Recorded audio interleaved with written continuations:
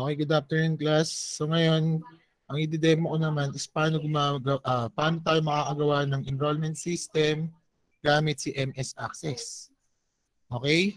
So una, syempre magbubukas muna tayo ng Microsoft Access Database. O si Access. So habang hinihintay niyan, so ano ba yung component ng ating grading system ngayong senior high? So ang ICT meron siyang performance task sa written works. So ang written works natin is 40% while the performance task is 60%. So dalawa lang. So yung examination, ginala, nilalagay na lang sa performance task. Pero dati separate yung examination as 30%. Tama? Okay, so at 20% lang pala dati. 30, 50, 20. So dahil nawala yung examination, ginawang 40, 60 sa panibagong grading system na in-implement pag pinapagamit ng DepEd. So create muna tayo ng table. Alamin muna natin sino ba yung mga written works. So dito mag-a-assign ako ng written works. Ito depende sa mga teacher to ha. Kung ano yung magiging written works nila. Okay, so halimbawa sa akin, ang gusto kong written work is quizzes. Ah, uh, seat work. So, yung mga seat work natin, yan yung mga module, for example. So, seat work 1, lagay na lang natin seat work 2. Tapos, uh, natin mga siguro mga apat na seat work or apat na ano yan, activities. Sa atin, yung activity natin, yung group, group work. So, dapat mas marami sa atin to eh. So, since demo lang naman, gawin ko munang sheet work 1, 2, 3, and 4.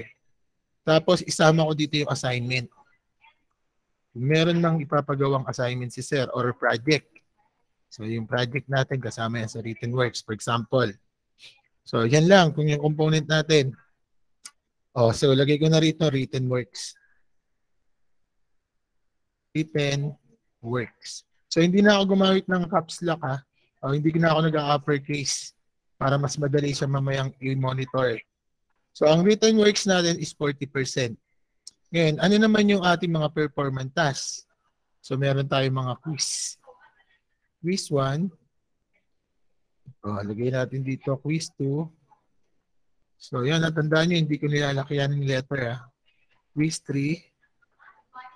Then quiz 4. Pagkatapos ng quiz 1 to 4, So maglalagay tayo ng long quiz. Quiz. Tapos meron pa tayong tinatawag na examination. So ito na lang. Then next, lagay natin yung attendance. Tapos lagay ko si uh, recitation. So ganito ako nagko-compute ng grades ninyo. So ito yung component ng aking performance task. So, halimbawa natin dito sa performance task natin yung seat work 1. So, lagay natin lahat as number. So, hindi na ako naglagay ng name ha. So, ang gusto ko lang naman i-demo is yung calculations. So, bahala kayo magpaganda ng inyong grading system. If ever na ipagawa sa inyo yan ni Sir Nabe. So, I hope hindi kasi masyado tong madali. So, yan. Number lang natin ulit. So, yung technique dyan, highlight nyo lang yan, pindutin nyo yung letter N sa keyboard, automatic magna-number yan.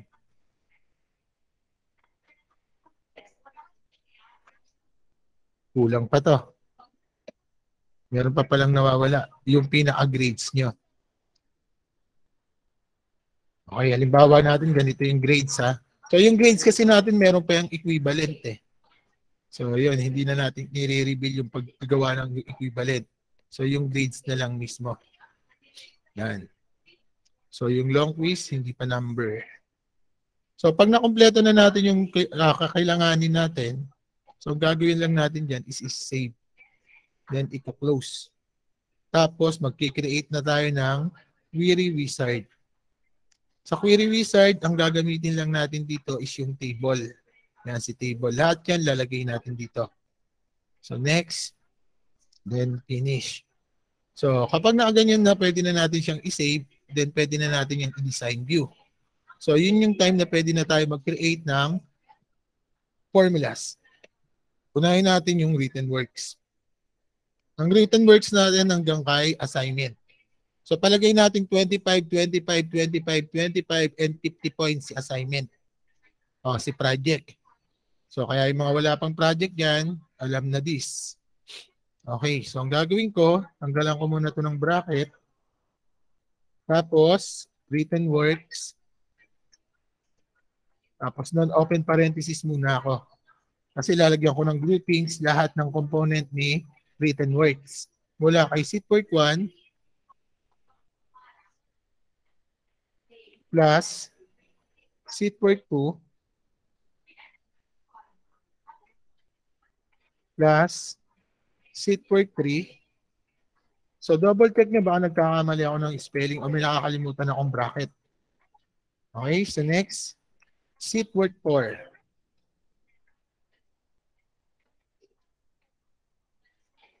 Then plus, another plus para kay assignment. So assignment natin,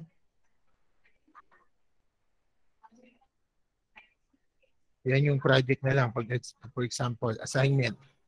Then close parenthesis, i-divide ko ulo ngayon yan, ilang points lahat? Yung seat work, 25 points. Yung assignment or project, 50 points. So, apat na 25 will be 100 plus 50 is 150. So, kailangan kong i-divide tong score niya sa 150. Tapos, kunin ko yung 100%. Kaya tinimes ko sa 100%. Pero, ang sabi natin kanina, ang written works is 40% lang. Kaya dapat i-times ko ulit siya sa 0.4. Okay, yung 40%. Next, punta naman tayo kay performance task. Si performance task naman, mas marami yung component niya. So, hindi ko nilagay si performance task, oh. So, kulang yung table natin. So, anong gagawin natin dito? Oh, ito na lang muna si performance task, si grades. For example, ah. So, ah, hindi. Ire-recta ko na. Dahil ito yung performance task natin, si grades, ilalagay ko na yun doon. Okay lang? So, ang gagawin ko, backspace ko to, So kulang ako ng isang field eh, pero gagawa natin ng paraan. So dito natin muna i-compute si performance task. So paano kinu-compute si performance ter? So ang gagawin ko lang, open parenthesis, ito yung pagko-compute kay performance task muna yung ginagawa ko ha. Mula kay quiz 1, mula kay quiz 1 hanggang dulo. Yan yung performance task. So, pero nilagay ko yung uh, formulas niya dito kay grades. So wala namang problema doon. So quiz 1. So lagyan natin ng ano to, bracket na ba to? Open parenthesis. Open parenthesis, bracket, quiz 1. Quiz 1, close bracket, plus quiz 2. Plus quiz 3. Plus quiz 4. Close bracket, then kailangan kong idagdag pa si long quiz. So another plus sign. So bracket long quiz. Ayan yung ginawa nyo ng prelim, nag-long quiz kayo. Tapos, nung midterm naman, saka tayo nagkaroon ng examination. So kaya sinama din natin dito kay performance task si examination. Yan po. So pagkatapos niyan, makukuha na natin yung ating performance task kung i-divide natin siya sa ilan. Bawat quiz is 25 points. So, apat na quiz, 100. So, ang long quiz is 50. Ang examination is 50. Attendance and recitation, tag 100. So, total of 400 points. So, divided by 400 times 100 sa 100% ng ating kukunin lang sa ating performance task times ulit sa 40 uh, 60% ang performance task sa ating grades. Okay? Then, tignan natin kung kaya natin i-save. Save then close. Okay, next na gagawin natin, babaguhin natin to. Design view ko ulit to. Kasi di ba pinakita ko pa lang sa inyo kung paano kino-compute si performance task. Ngayon, uh, papakita ko na ngayon paano kino-compute si grades. Itutuloy ko na yung calculation o yung computation dito. So, yan yung nakikita nyo na yan is performance task pa lang. Dadagdagan ko yan ngayon Wait, ang sa yung dulo. Hindi ko lang pinakita kasi kagad kanina para isipin nyo ito yung performance task. Ngayon kung na natin si grades, dadagdag ko lang dyan si written works. So anong spelling ni written works? Maliliit lang sir. Yan. Written works. So may space. Then open parenthesis, close. So kompleto na. Right click, save, right click, then close. So try ko ngayon mag-create ng forms gamit yung wizard. So, query, tandaan nyo, naka-query. Lagay natin lahat. Next, next, then finish. Oy, yun lang. Bakit may, walang quiz pa, no? Walang nakalagay na quiz. So, mali yung pagkaka-input ko dun sa may table. So, cancel ko muna to. Check ko muna yung mga mali, ah. Wait.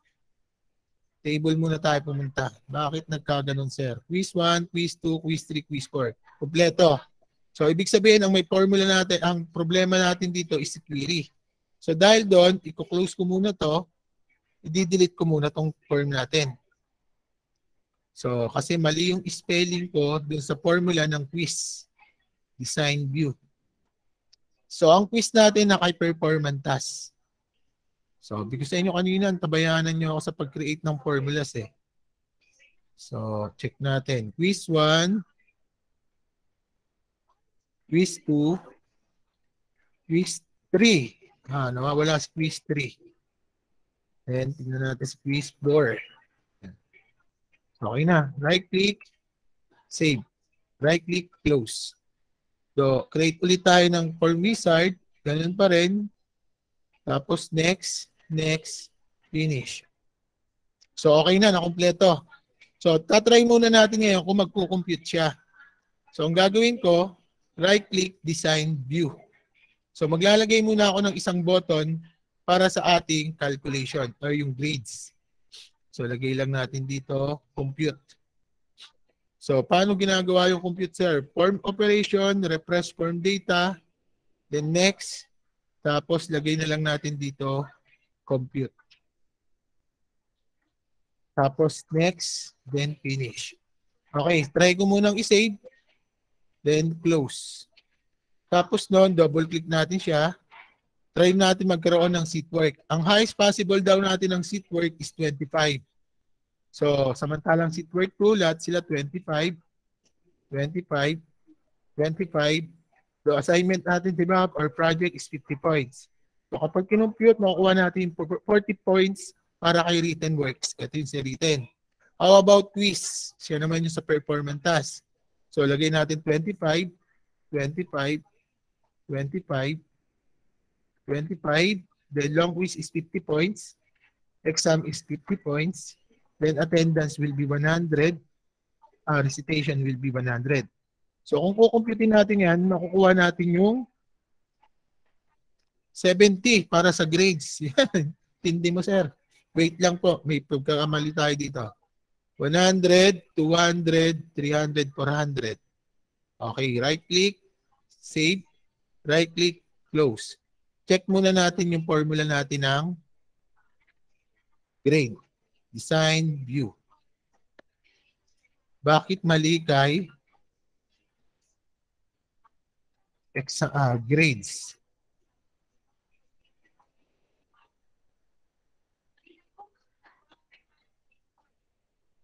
Ito si grades. Okay, ito si grades. Balikan natin yung pro- uh, problema nito. Quiz 1 plus quiz 2 plus quiz 3 plus quiz 4 plus long quiz. Ito lang ha, kung meron iba pa. Baka hindi natin nasama yung isa. Examination. Ah, attendance. Wala si attendance. Tama ba? attendance, recitation sa formulas. Okay, kaya naman pala nagtampo eh. Plus attendance. Then close pa uh, close bracket plus recitation. So, yan ah. Nakita nyo may mali. Nahanap din naman agad. So kapag kaya gagawa nyo, dapat siguraduhin yung tama. Yung mga components nyo. Okay? Then right click, Save. Ay, kulang na tuloy. Kulang tayo ng close parenthesis.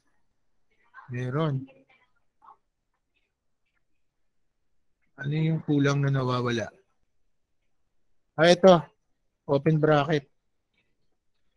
Right click, save. Right click, close. Okay, check muna natin si form.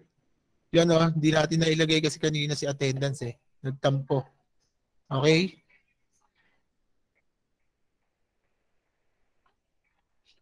Wait, wait natin to. Kasi examination ang nawawala.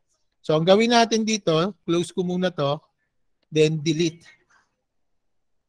Kasi nag-upgrade tayo ng uh, tawag dito, nag-upgrade tayo ng query. Uh, silipin ko muna si examination kung tama yung spelling niya. Saan ba makikita si examination? Kay grades.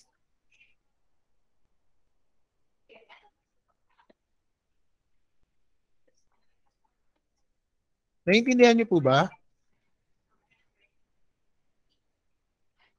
Examination. Examination. Okay, tama. Is examination eh. Okay, plus attendance. So, right-click uli, save. Right-click, close. So, create tayo ng form wizard. Lagay natin lahat. Then next, next, then finish. Ayun no, si attendance naman ngayon. Anong problema ni attendance? Canceling ko muna to. Assign view. Attendance. Sa grades pala yon.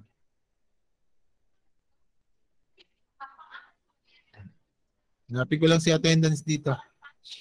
Nagtatampo sila eh. Hindi nasama kanina eh. Examination. Attendance. Attendance. Tama naman yung attendance ko ah.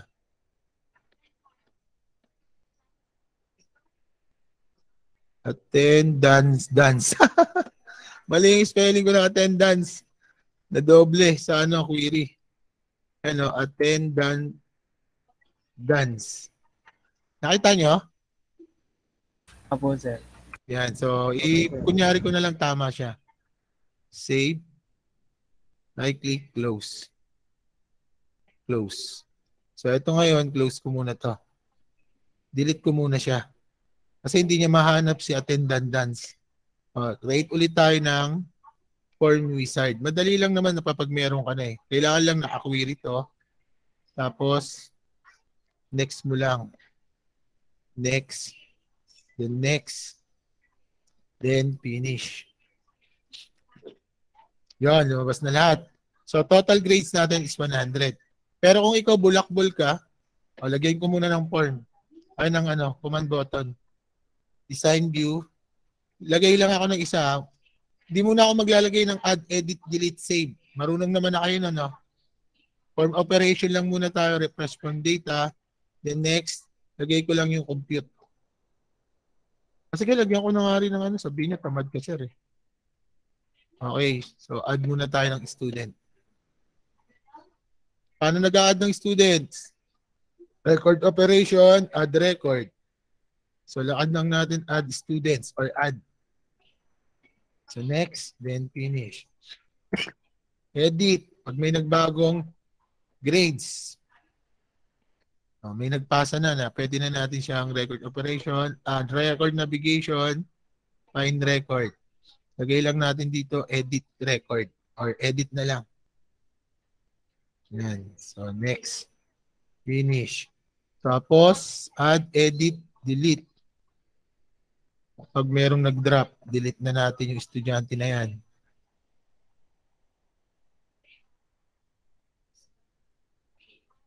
Uh, next, then finish. Add, edit, delete, save. Para ma-save natin yung mga pinaggagawa natin.